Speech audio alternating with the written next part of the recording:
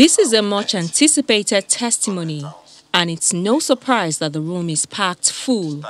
Many of the young people here participated in the EndSARS protest, and almost throughout these proceedings, they freely expressed their views about the accounts given by the Lagos State Head of Service, Hakeem Muri-Okunola. Uh, in the morning of the 20th, Led in evidence by the lead counsel to the government, Senior Advocate of Nigeria, Abiodun Owonikoko, the head of service starts with a narration of when the EndSARS protest commenced, the interventions by the government, and eventually the hijack of the protest by those he described as guerrilla protesters. These were the events that people who had infiltrated the noble EndSARS protest started to perpetuate on at the scene of the Lekki Plaza. Uh, I'm sure you would agree that this will be a major cause of concern for any parent, any leader or administrator, and particularly the governor of Lagos. Using slides and visuals, the witness testified about the events of the night of October 20, 2020, and how the government came to know about the presence of the military at the Lekki toll gate. We received a phone call from a, an Ikoyi resident on the Queen's Drive side of Ikoyi reporting gunshots, sporadic gunshots what we thought was that maybe there was a robbery incident or some security incident around that resident or that neighborhood until subsequent calls reporting same. But that second person confirmed that it was from the toll plaza known as TP1. This led us to call the Commissioner of Police, Mr. Hakeem Odumosu,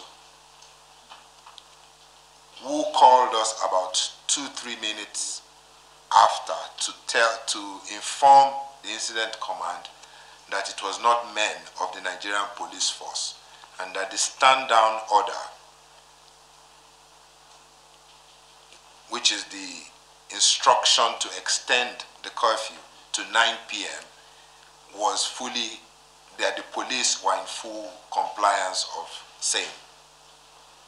Based on live broadcasts or supposed live broadcasts uh, and um, comments, they said it was men of the Nigerian army in the comments.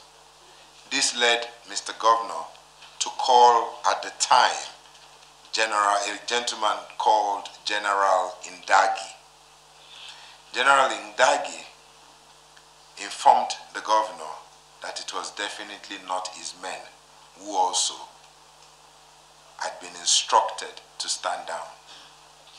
I believe it was during all of this that it surfaced again on social media that uh, there were men from Bonny Camp that went to the toll plaza he also testified that in the wake of the violence which occurred on the night, the governor and his team visited the hospitals and saw that most of those who presented for treatment did not have gunshot wounds. We were informed that there were indeed casualties in some of our hospitals in Lagos. We then also started to get information from other parts of Lagos where we, there were still incidents of violence. Now it was uh, escalating into cult and territorial clashes in other places.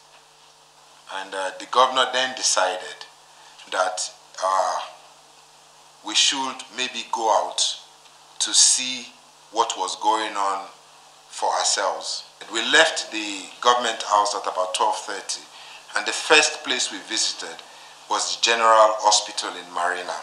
General Hospital in Marina also had 12 patients. Uh, at the time when we were there, most of the injuries were all in the nature of cuts, bruises, but nobody at General Hospital said they were shot at. This is the Reddington Hospital in Lekki.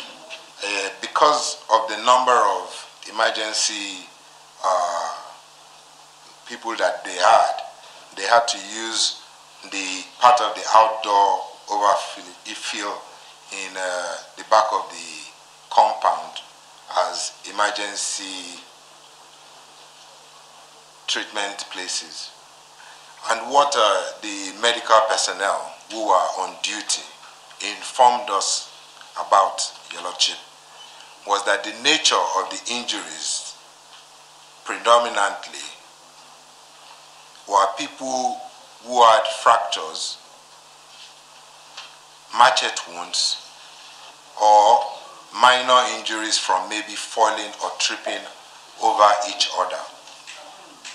This is uh, not a government-owned hospital.